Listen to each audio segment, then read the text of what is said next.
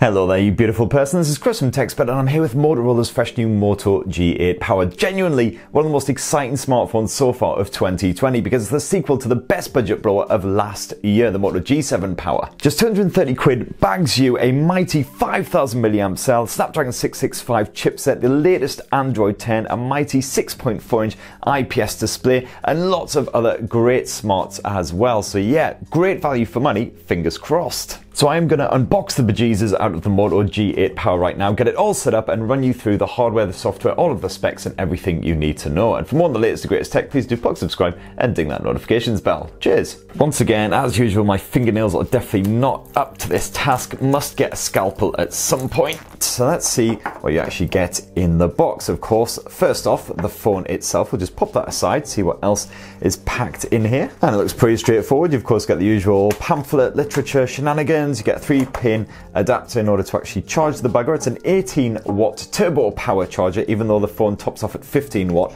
charger. We'll cover all that specky stuff in a bit. And a bit of Type C USB cable action uh, for charging as well. Oh, and sneakily hidden away in there as well, do of course get Motorola as usual a pin device for actually getting your SIM in the bugger. Lovely stuff. Now let's turn our attention to the Moto G8 Power itself, which as you can see there comes clad in a prophylactic case. Nice free bundled accessory, just like all Moto Motorola blows, just adds a bit of extra protection if you want it, which is great stuff. And as the Moto G8 Power is a plastic handset, it's probably a good idea to keep that on there if you don't want a, little scratches and scuffs to appear all over that shiny surface. And speaking of that shiny surface, as you can hopefully make out there, you've got this nice linear pattern on the back of the Moto G8 Power, just to make it a bit more interesting rather than just a straightforward, flat, shiny surface. And, and you can pick it up in a couple of different hues. You've got either black or blue. This is the black model. The blue model is admittedly quite a dark blue, so it's not massively different from this black version, but all the same, I prefer it. It's got a little bit more character. And the Moto G8 Power is 197 grams, so it's definitely got a serious heft to it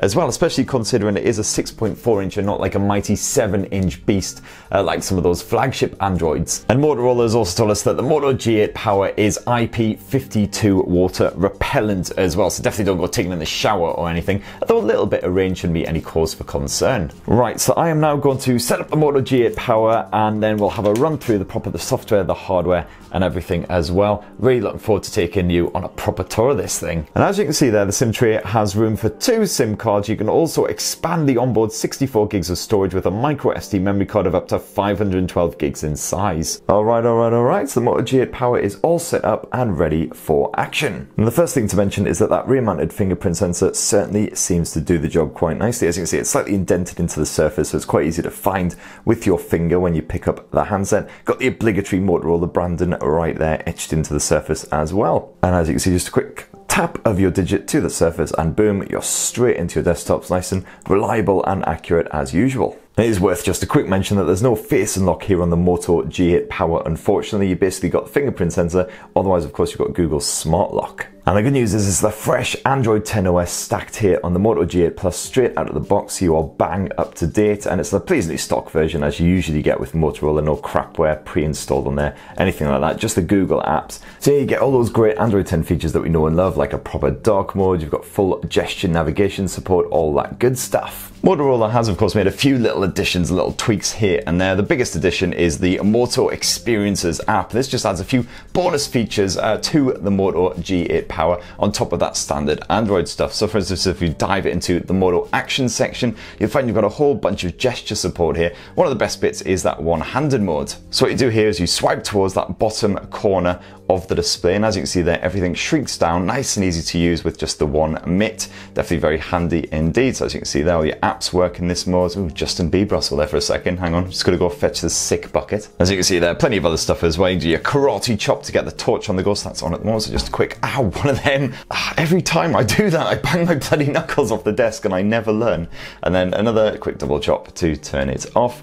Uh, as you can see there, you've got quick screenshots, flip to do not disturb, handy when you're getting some kip at night, things like that. And now let's focus on that 6.4 inch IPS display. It's a nice full view experience as you can see there. Very skinny bezels running around the edge of the Moto G8 Power. Uh, and only this tiny little peephole camera down in the corner there. Um, so very unintrusive, uh, certainly compared with some of the more Samsung E efforts, which are more centrally positioned, a bit more obvious. There's a full HD plus resolution as well, 2300 by 1080. So as you can see there, nice crisp visuals. Uh, you can see this guy's pecs in impressive detail indeed. Uh, nice and bright as well, and strong viewing angles. So certainly seems like a good display for your media if you're on a budget. Also, I'm sorry, but this looks like the best movie ever. Bajie 3, if anyone is interested, I'm definitely going to be checking out 1 and 2, that's for damn sure. And great news on the audio front as well, because not only do you get a proper built-in headphone jack here on the G8 Power, as well as, of course, Bluetooth 5 support, but you also get a stereo speaker setup, which, quite frankly, at this sort of price point is amazing. So let's just boost the volume to the maximum level. Border, but the iPhone 11 Pro is still much easier to handle with just the one mic compared with a lot of Android handsets, and that's probably just as well because there's no. So that's a nice loud, crisp, clear bit of audio there. It's, it's so slightly sort of tinny as you can hear on that sort of top volume, but certainly compared with a lot of other budget phones,